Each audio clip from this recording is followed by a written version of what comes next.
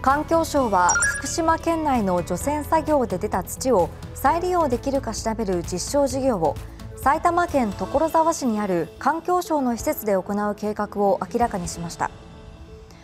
除去土壌の実証事業を福島県外で行うのは初めてとなります。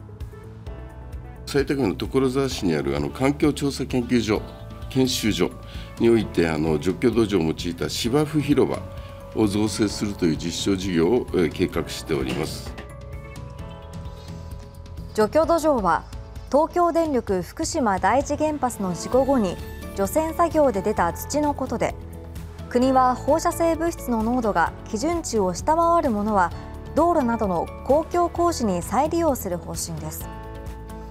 除去土壌をめぐっては2045年までに福島県外に搬出して最終処分することが法律で決まっていますが実際にどこで処分するかなどの見通しは立っていません。福島県内の中間貯蔵施設に運び込まれた除去土壌は現在1334万立方メートルあり東京ドームおよそ11杯分にもなっています。西村環境大臣は6日の閣議後会見で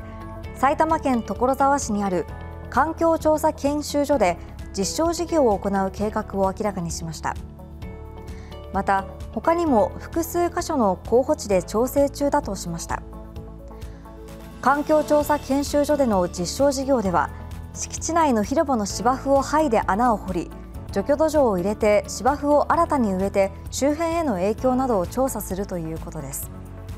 時期や規模は今月16日の住民説明会で明らかにするとしています。これ今初めて見ましたの。事前登録お願いします。だって申し込みに。えー、でもねだってうん